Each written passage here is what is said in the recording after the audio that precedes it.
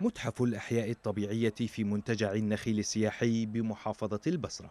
صرح جديد في المحافظة يعرف بأنواع الحيوانات بتصنيفاتها المختلفة التي تضمها بيئة العراق التي تتصف بالتنوع الأحيائي الكبير.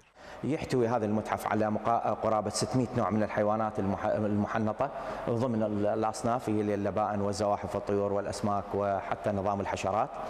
العراق يعتبر بيئة زاخرة بالتنوع الأحيائي.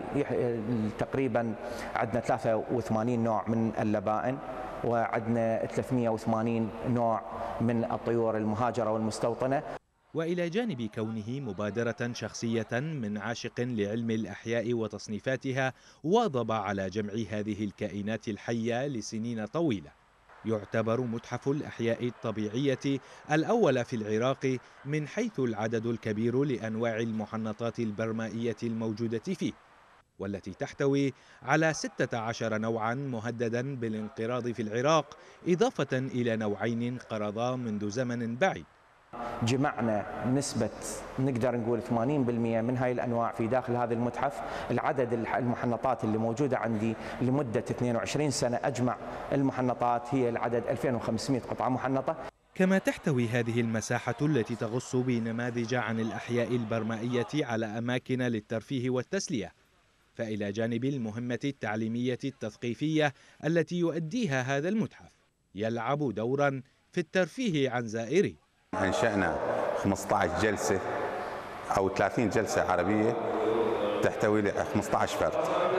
وعندنا المتحف الأحياء اللي يحتوي على حوالي 600 نوع من الأحياء.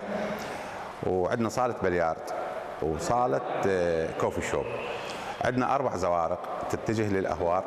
الزائرون للمتحف سواء كانت أهدافهم علمية أم ترفيهية.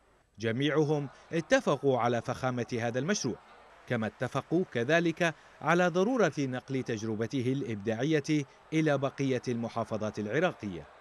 إحنا اليوم آه، كلية الطب البيطري آه، قمنا بزيارة للمتحف اللي اللي واقع بالهارثه طبعا شفنا الحيوانات المحنطة فشي كلش حلو وراقي.